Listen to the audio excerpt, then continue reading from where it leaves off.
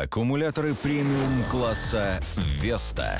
Титульный спонсор футбольного клуба «Краснодар». Ну, мы на все игры настраиваемся одинаково, без исключения. То есть э, там спорт-лидер это или ау- аутсайдер, готовимся одинаково к играм. Нужно просто показать тот футбол, который мы играли в первом круге, и выйти обыграть эту команду, потому что уже отступать некуда. А, Сыграли неудачно два матча. Вот. Но я думаю, что приложим максимум усилий, чтобы победить. Сами сказали, что неудачно сыграли два предыдущих матча. Как вот э, отпустить это психологически и забыть об этом и идти дальше вперед? Ну, нужно после каждого матча выходить и постараться забыть этот матч и готовиться к следующему. Если ты будешь думать о неудачных матчах, то, конечно, тяжело будет настраиваться на предыдущие.